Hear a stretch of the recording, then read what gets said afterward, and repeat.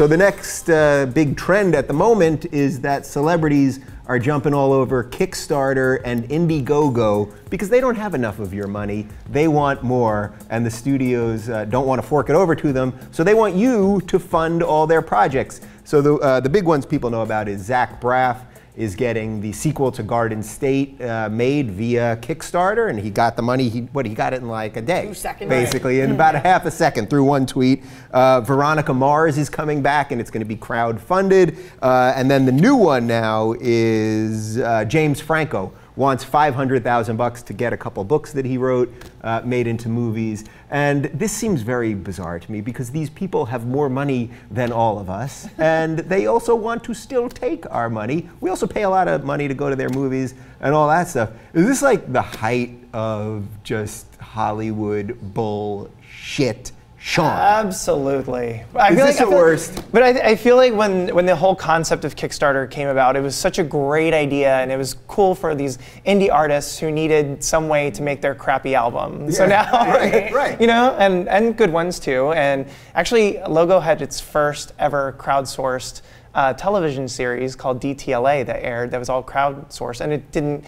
Uh, Logo wasn't a part of it until till later, but I thought that was interesting. So it was crowdsourced and then made its way to the network. Right, which I think is kind of the way it should be. Is that it starts out with a bunch of people who don't have a ton of money. They put something together. Then someone takes notice, like a small TV channel, and puts on your project. But already being famous, if you already have over five hundred thousand dollars, you shouldn't ask poor people to submit to your passion projects. Yeah, I mean, doesn't this just like the five hundred thousand also from James Franco seems bonkers because I'm sure the He guy has has millions of dollars. So like we're we're all out there Mm-hmm. putting our stuff out there and working hard. So why should he have people that have less money than him fund his project? Like, what's the psychological thing going I on? there? mixed feelings on it. First of all, part of it does say to me he probably does have $500,000 that if he really believed in his own project, he could invest in himself the way all of us have invested in ourselves in what, with whatever money and time we have. You know, like normal people building themselves up. You're like, if I have $10, that's going to go towards my career, my internet, whatever it is that we're Right. doing. But you know, I'm not entirely mad at it. I know when Zach Braff did his, people were rolling their eyes and annoyed, but a lot of people really liked Garden State and studios. If you've ever worked with a studio before, they're really impossible. They're not going to give you final cut. Your vision isn't going to come to fruition. They're going to say, you know, well, we need like a bigger star or a better soundtrack. We want to change what you've written into this, this, and that. Yeah. So I will say the argument for some of these celebrities is that they already have worked with the studios and probably haven't gotten to even show who they really are.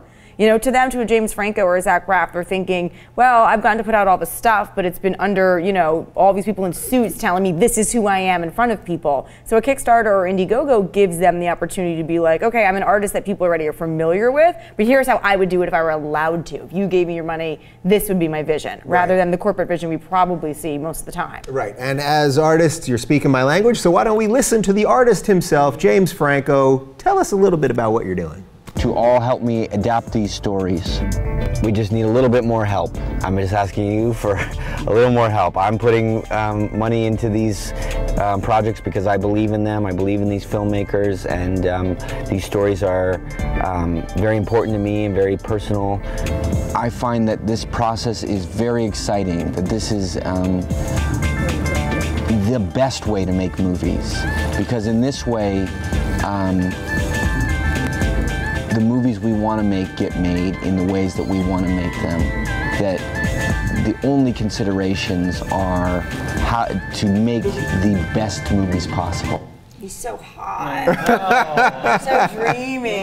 I love him. Like, you can have my money. Yeah, and his goals are so lofty, aren't they? He's so douchey, though. I just It's kind of douchey though. Yeah, and also I think it does go to what you're saying of like when these things started, it was like let's get water to children in Africa, or you know, Not let's help them, help cleft palates or something like There that. There were a lot of Was Kickstarters it a- that were just like that too. That were like, we want to make a cool movie, but studios won't listen to us because they're the man. So fund my movie about, I mean, their Garden State esque movie that just had nothing to do with the celebrity or Zach Braff. There was a lot of that. Yeah. Or on the both artists, artists that need auto tune.